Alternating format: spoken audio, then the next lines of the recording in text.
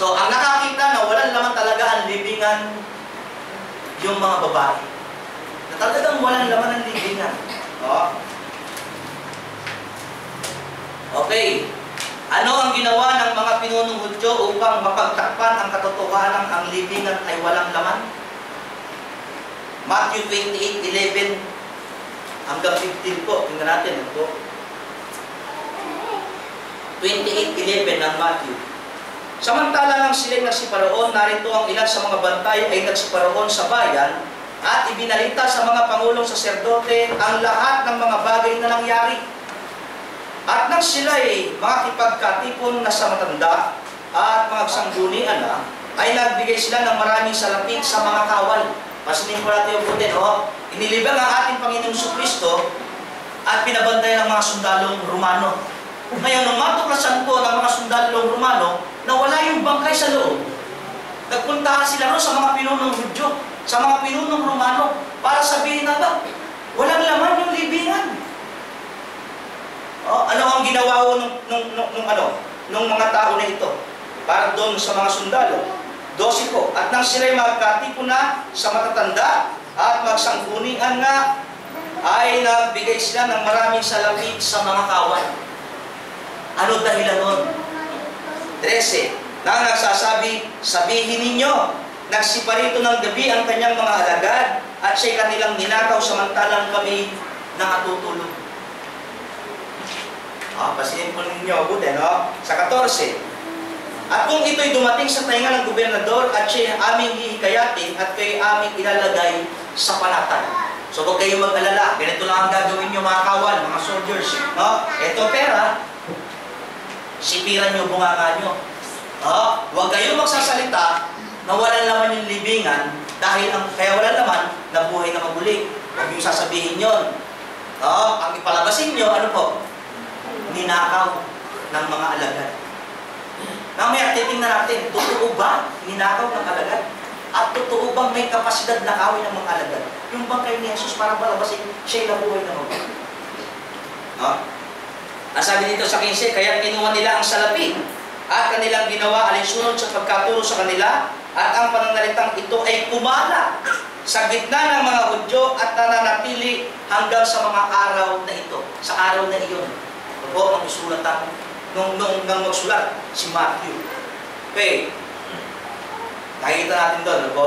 Ngayon, sinasabi sa Biblia na nabuhay si Jesus mula sa kamatayan. Tunay naman po yun. No? Nabuhay si Jesus mula sa kamatayan. Ngunit, papaano natin mapanghahawakan ang sinasabi ng Biblia? Ikaw na tao naniniwala sa Diyos, naniniwala sa Biblia. Paano mo kukumbinsihin ang isang taong tunay na, na may pagkabuhay na maguli kung siya hindi naniniwala sa sa Biblia? O sinasabi ng kasulatan, nagbangon ang ating Panginoong Kristo ng ikatlong araw. Oo, pinaniniwala ko yan. Dahil naniniwala ko dyan eh.